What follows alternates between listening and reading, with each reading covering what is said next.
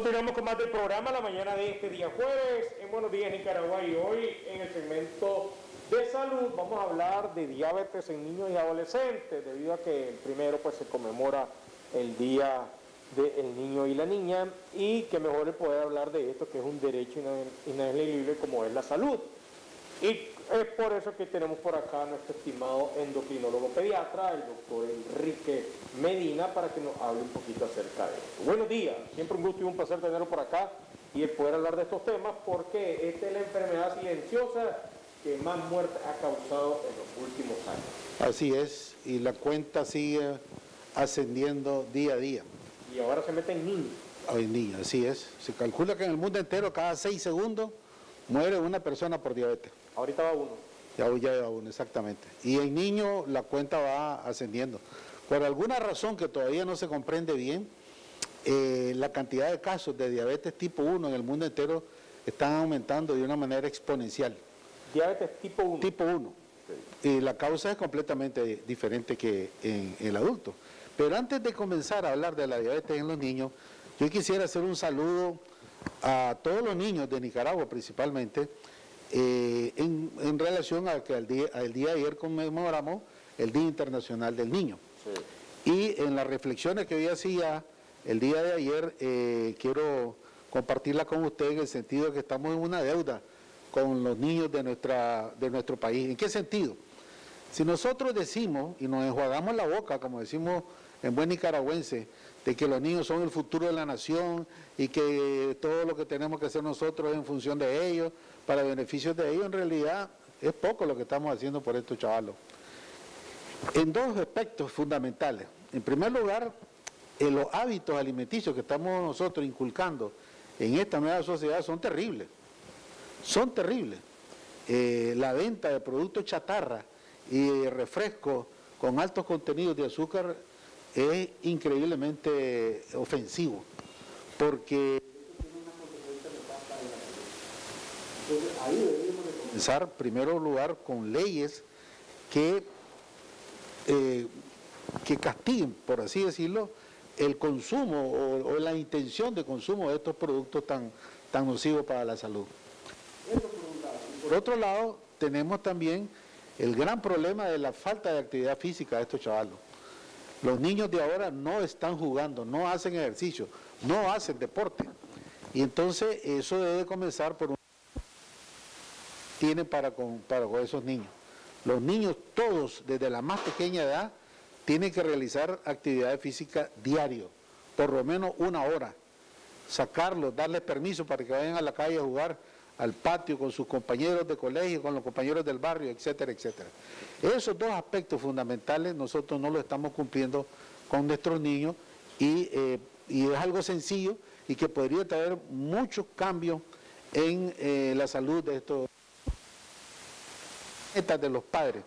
Eh, ir inculcando en estos niños estos buenos hábitos sobre actividad física y alimentación saludable para que cuando sean adultos ellos continúen con eso que han aprendido y de esa manera eh, tener una mejor calidad de vida.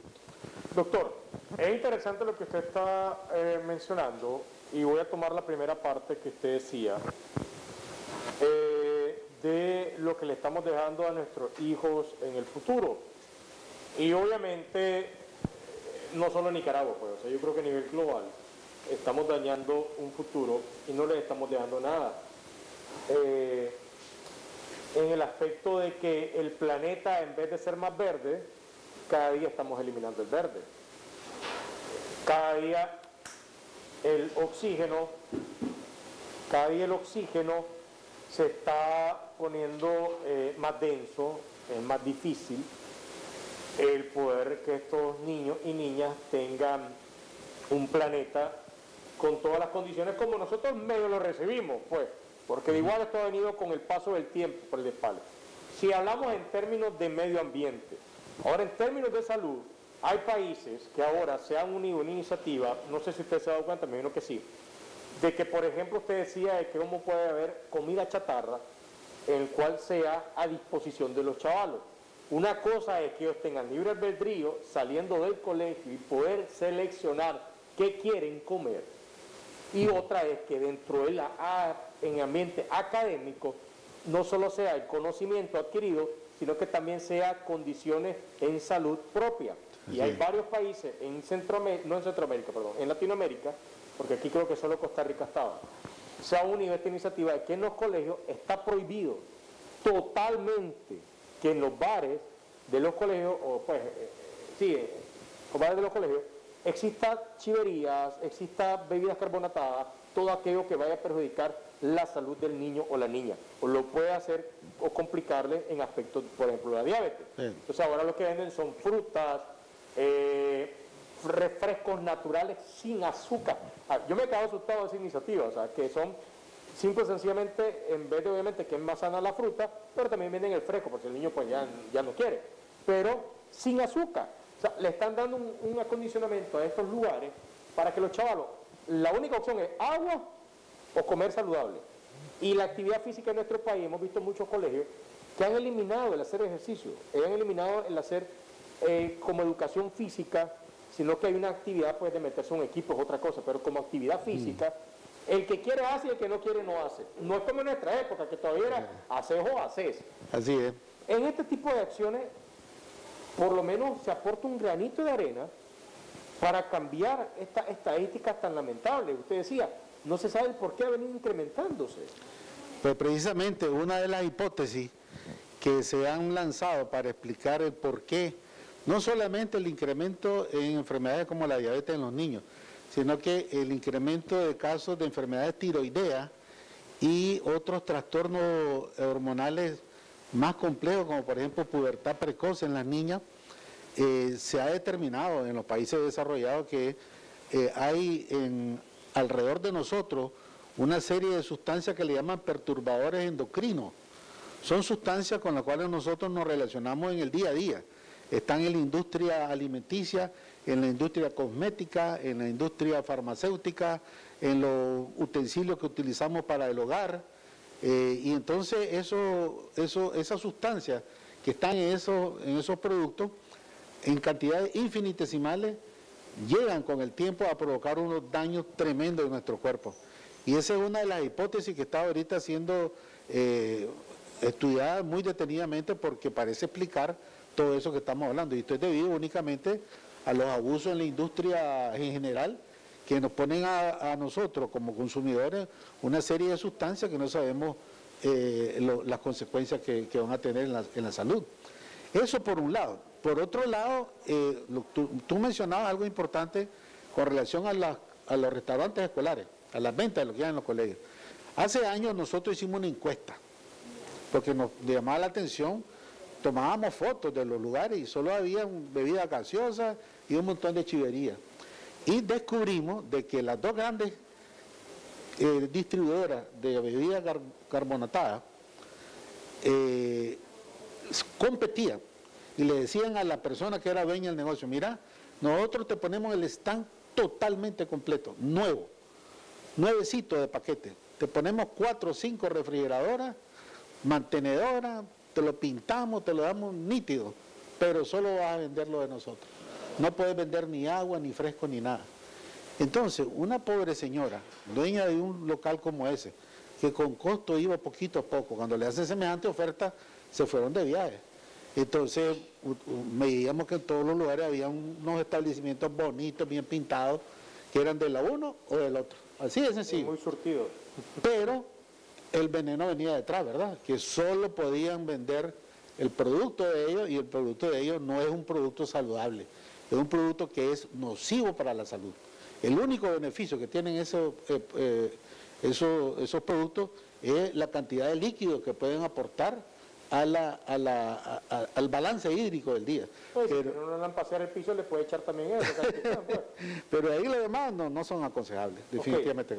En esta circunstancia, como usted lo decía, lamentablemente las estadísticas se siguen elevando es por el hecho del sedentarismo, el hecho de la mala alimentación, el hecho de que las personas no toman conciencia de poder hacer eh, ejercicios y el cambiar estos hábitos.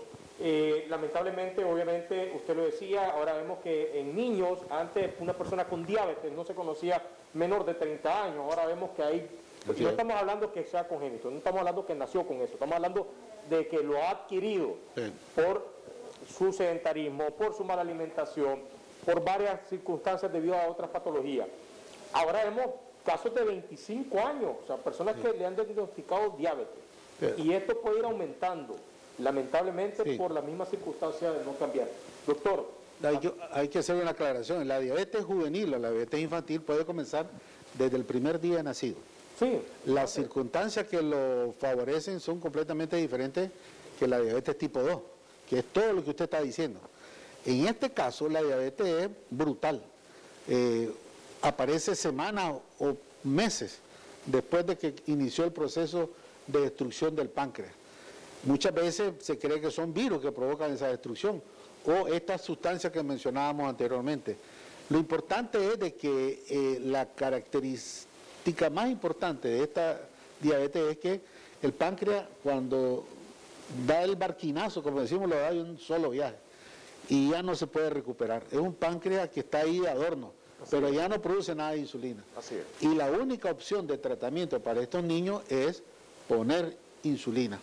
Lamentablemente. Eh, eh, y eso desde el primer día.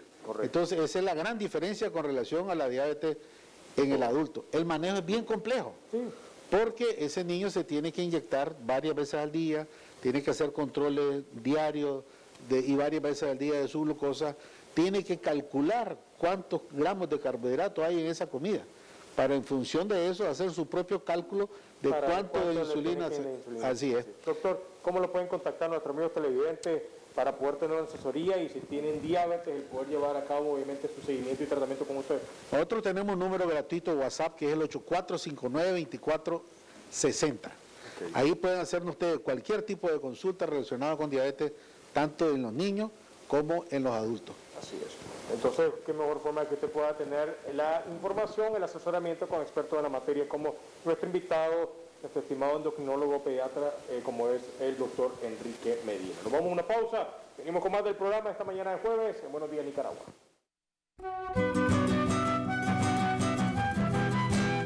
Reconocimientos, denuncias, quejas y sugerencias. Envíelas a Canal 12. Programa Buenos Días Nicaragua. Residencial Bolonia. O llámanos a los teléfonos 2266-0691 2266-9983, 2266-9984. Escríbanos a nuestro correo electrónico canal12 arroba canal12.com.ni. Redes sociales, Facebook Noticias 12 Nicaragua, YouTube, Canal 12 Nicaragua, Twitter, arroba Canal 12 Nic. Visita nuestro sitio web www.canal12.com.ni